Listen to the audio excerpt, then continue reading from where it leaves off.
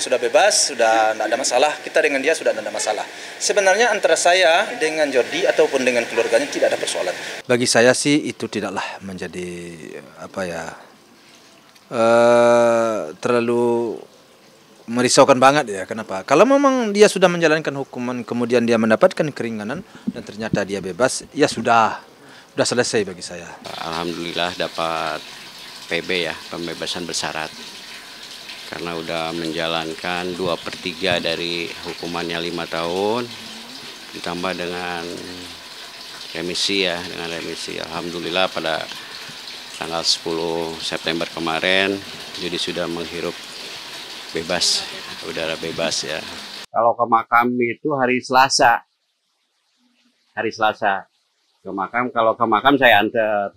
Saya antar sama saya. Karena Pak Jody pengen ke makam minta antar. Ya udah saya bawa antar. Yang dilakukan Jody yang pasti berdoa ya untuk sahabatnya. Merenung di situ minta maaf.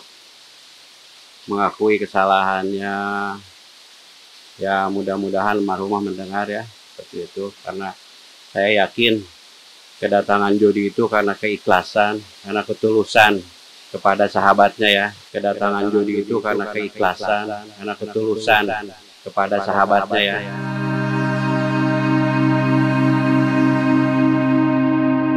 Bukan kita tidak percaya kepada takdir Tuhan, tapi di situ ada faktor, faktor kelalaian dan kecepatan yang melebihi batas menurut saya. Apakah kamu akan begitu legowo aja? Sama Gala belum, sama dengan Soda. Ya yang terpenting kan dengan kedua orang tanya dulu ya.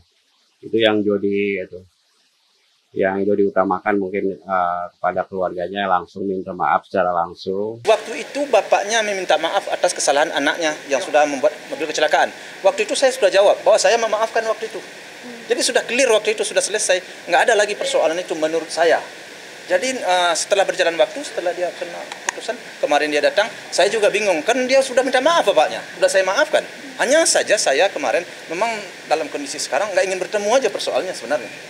Kenapa? Untuk apa? Karena akan membuka luka lama. Itu aja persoalannya. Kalau soal memaafkan, seminggu kejadian dulu, bapaknya sudah datang ke rumah dan minta maaf dan saya sudah maafkan. Ya tentu ketujuannya tentu tidak lebih dari permintaan maaf dan semuanya itu tidak ada yang perlu di di apa diklarifikasi lagi, tidak ada lagi. Tentu apa pun ya tentu mungkin saja itu tujuannya, tapi bagi saya saya bilang jak kamu jalan aja hidup kamu. Sebelum ke makam, Jody itu ke rumah Bapak Haji Faisal dulu ya. Hari Sabtu hari Sabtu dari Jakarta langsung ke Bapak Haji Faisal. Saya menghargai ke apa uh, keputusan Jody gitu kan karena biar mungkin nggak terlalu bebannya terlalu ini apa pun yang diterima dengan sambutan Bapak Haji Faisal Jody terima dengan ikhlas karena ini kesalahan Jody Pak. Kalau soal itu semua orang pastilah penyesalan. Sampai penyesal. Tapi kembali ke belakang, ada nggak kesalahan? Hidup ini akan menyesal semua kita dalam apa pun gara-gara kelalaian kita. Gara-gara uh, ya keegoan kita yang nggak mau kita menahan diri bawa mobil. Bagaimana perasaan anaknya nanti kalau sudah besar tidak punya orang tua lagi gara-gara kita? Kan seharusnya dia berpikir seperti itu ya. Keluarganya juga ber, ber, uh, berpikir seperti itu. Disampaikan kepada anaknya gara-gara kelalaian kamu. Gara-gara kerja kamu cara kerja kamu. Kita tidak mendahului Tuhan loh. Tapi di situ kan ada unsur kelalaian. Ada unsur kesalahan di situ ya penyesalannya mungkin kenapa ini bisa terjadi ya seperti itu. Karena saya yakin Jody juga kan nggak mau kejadian seperti ini. Malah tapi ini ini musibah istilahnya. Artinya siapa pun bisa terjadi seperti itu. saya yakin itu aja sih. Kedekatan mereka seperti saudara ya artinya pasti jadi kayak kehilangan sekali. Gitu.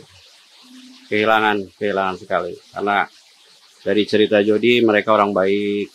Kita introspeksi aja buat buat kehidupan Jody ke ya seperti itu. Jody juga seperti itu. Alhamdulillah. Terima. Makanya ada semua siap sudah siap dihujat. Siap itu kan. Makanya uh, pasrah aja jadi karena memang bentuk ke penyesalan itu ya. Nggak akan melawan jadi